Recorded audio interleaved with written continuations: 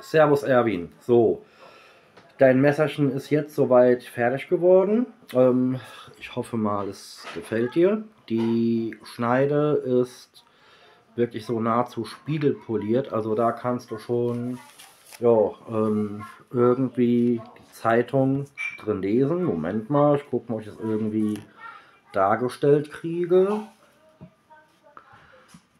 Äh, Leider nicht ganz so wirklich, wie ich es gerne hätte.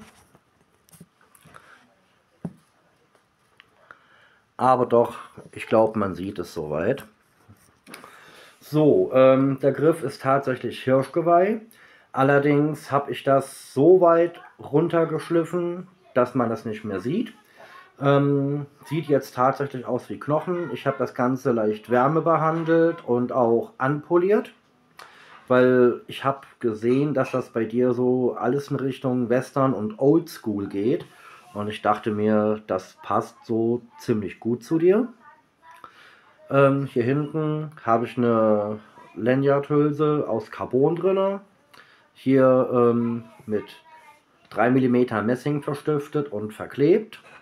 Ähm, Hirschhorn arbeitet leider ein bisschen, kleine Spaltmaße. Ähm, sind hier leider nicht zu vermeiden gewesen, ist aber mit Epoxykleber aufgefüllt und dementsprechend denke ich mal, das ist so okay. Die Handlage ist wirklich smooth. Ich hoffe, du bist Rechtshänder, denn das Hirschgeweih hat natürlich auch ja, eine eigene Wuchsrichtung, eigene Form. Und so viel konnte ich da jetzt nicht mehr runterschleifen, ohne dass ich hier die Deckschicht zerstört hätte. Das Ding hat mich jetzt echt Nerven gekostet, aber ich denke mal, das ist ganz zufriedenstellend geworden. Zumal du sagtest ja, Hauptsache scharf und ich lege jetzt das Messer wirklich nur auf die Handfläche. Ähm, ich halte es nicht fest und ich denke mal, die Schärfe sollte soweit ausreichen. Das hier ist jetzt Werbung vom Center Shop, also ziemlich dünnes Papier.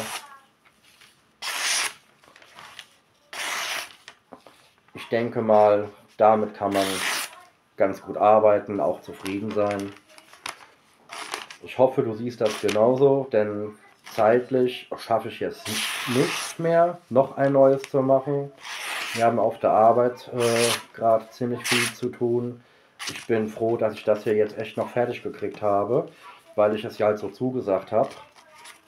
Ansonsten wäre es bitter geworden. Wie gesagt, ich muss das Messer nicht festhalten. Das geht halt so durch. Ah, hier habe ich noch ein anderes Blatt, auch wieder Center Shop. Same shit, different story.